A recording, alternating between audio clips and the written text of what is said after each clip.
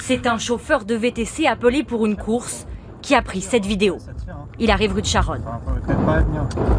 Ça tire. hein. Ça tire, gros. Ça tire. Recule, recule, recule, recule. Recule, gros, ça tire. Il vient de comprendre.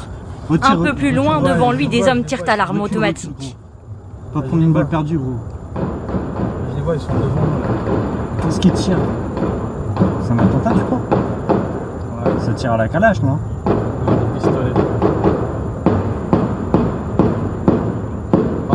Oh putain, vas-y, nique sa mère.